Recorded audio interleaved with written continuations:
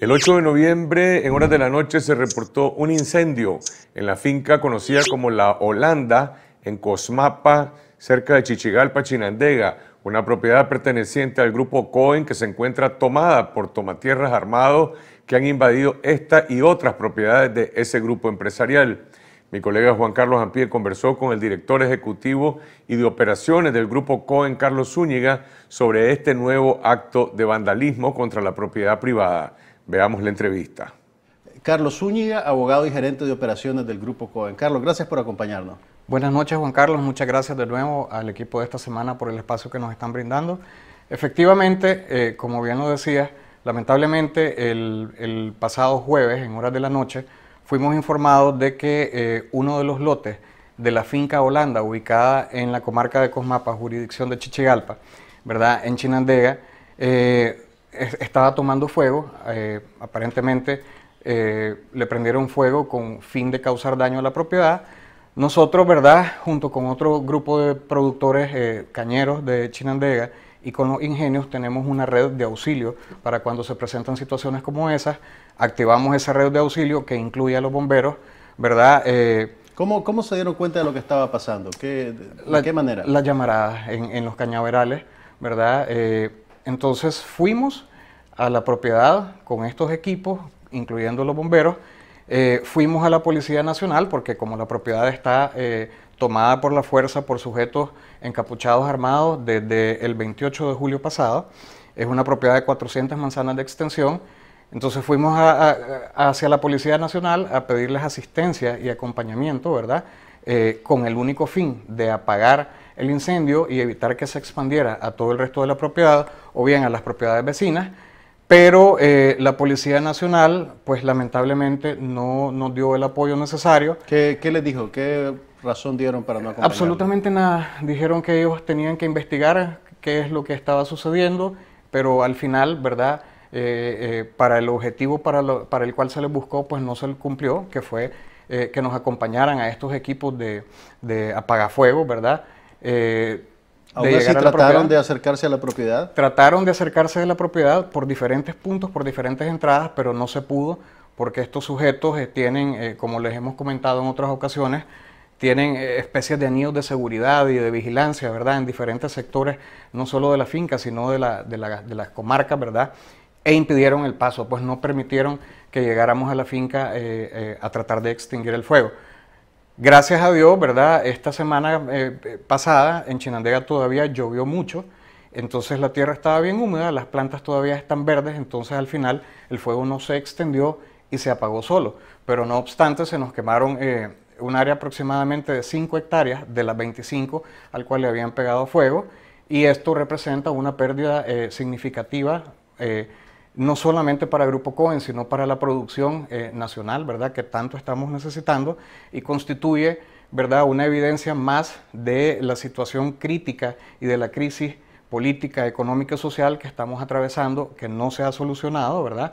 Y que nos está afectando a todos los nicaragüenses, en particular a nosotros, que como les hemos comentado, tenemos más de, de 1.500 eh, manzanas de tierras invadidas, de unidades productivas, no son eh, tierras ociosas, sino todo lo contrario, son tierras productivas, fincas agrícolas, con proyectos muy importantes, ¿verdad? Que fueron tomados violentamente por estos sujetos que no son los grupos tradicionales de tomatierra, sino que son grupos de hombres bien organizados y bien armados, ¿verdad? Que están como que si fueran los dueños de las propiedades, impidiendo eh, el acceso de nuestros trabajadores y nuestro personal a las mismas. Si esta gente tiene dominio actual de la propiedad, ¿qué ganan ellos con, con quemar esos cañaverales? Bueno, dominio no, no tienen, ¿verdad? Lo que tienen es posesión. Posesión, perdón. Eh, no tienen dominio, eh, tienen posesión. Es que no ganan nada, Juan Carlos. Lo único que ganan es causar una imagen de zozobra, de inseguridad al país, ¿verdad? El daño de nuevo no se está provocando únicamente a los productores que están en las mismas circunstancias. Eh, ustedes han visto, aún hay más de 7.000 manzanas de tierra eh, invadidas eh, de diversa forma, ¿verdad?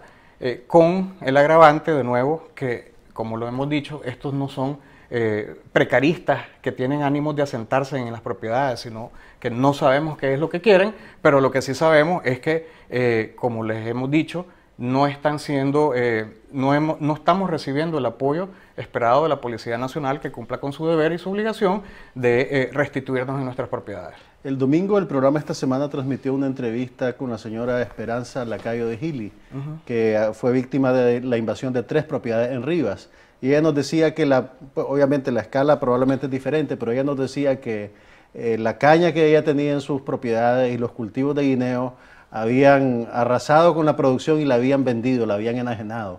¿Qué ha pasado con los productos que ustedes cosechan pues, en estas tierras? ¿Tienen básicamente lo mismo. Eh, no podemos cuantificar ni valorar exactamente, eh, decirte qué ha pasado. Lo que sí nos han informado, ¿verdad? Eh, personas de las comunidades aledañas que han desmantelado todas las unidades productivas, han vendido eh, los, equipos de riego, han vendido los insumos agrícolas que habían ahí. Eh, en otras fincas, como por ejemplo una que se llama Pastepe, que teníamos una, una plantación importante de, de aguacates, eh, se perdió toda la cosecha de aguacate. En esta misma finca Holanda, desde hace como dos meses, han estado cortando la caña, todavía verde, no lista para corte, vendiéndola a precios absurdos y irrisorios para venderla para para picarse eh, y dársela de alimento al ganado. En fin, daño eh, que nos ha generado, ¿verdad? Y que nos continúan generando, pero de nuevo, lo que más nos preocupa es el daño que le eh, produce a la producción, a los productores, a los empresarios y por lo tanto a la economía nacional y que se traduce en un daño a todos los nicaragüenses.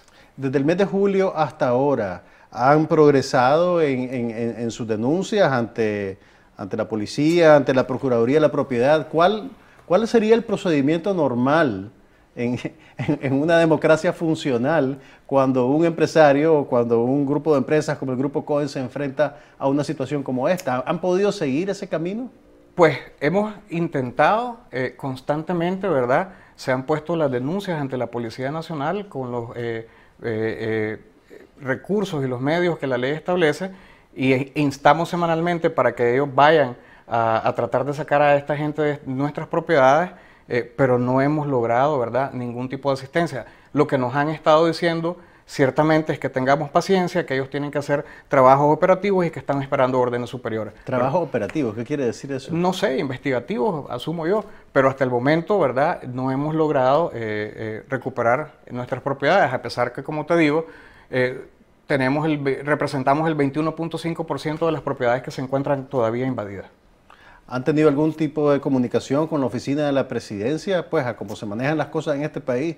Todos los caminos conducen en, esa vía. No, porque eh, nosotros respetamos la ley, respetamos las instituciones, respetamos los cauces eh, adecuados y correctos y no creemos que este asunto es algo que se tenga que ir eh, a dirimir a un ministerio de Estado, ni mucho menos a la presidencia de la República, cuando la policía está ahí para eso.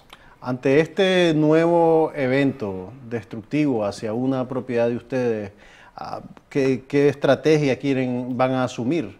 Esto es, esto es algo, nuevo. Seguiremos denunciando, ¿verdad?, eh, lo que nos está sucediendo y utilizando los medios de comunicación para pedirles eh, a, la Policía Nacional hacerles un llamado, ¿verdad? Que se den cuenta del daño que esto está provocando, ¿verdad? Y que aceleren los procesos que tengan que, realizar o las investigaciones que tengan que realizar para que estas situaciones no sigan sucediendo. La caña de azúcar representa, es uno de los 10 rubros de, que, de, las mayores exportaciones de Nicaragua y, evidentemente esto es un golpe muy importante. A nivel internacional, ¿tienen organismos involucrados en este proceso, en esta situación? ¿Asociaciones gremiales? No. ¿Grupos de empresariales? No, excepto, ¿verdad? Eh, al igual que han hecho el resto de los productores, hemos acudido a UPANIC, que es nuestra eh, eh, gremio empresarial, en el caso de la, de la producción agrícola que nos representa, a, pedirles ayuda y a, y a registrar, ¿verdad?, estos casos en que hemos visto, hemos sido afectados. Muchas gracias, Carlos Zúñiga, gerente de operaciones del Grupo COEN. Eso fue lo que dijo el director ejecutivo de operaciones del Grupo COEN, Carlos Zúñiga, sobre este nuevo acto de vandalismo que forma parte de la represión política de Ortega en contra de los empresarios.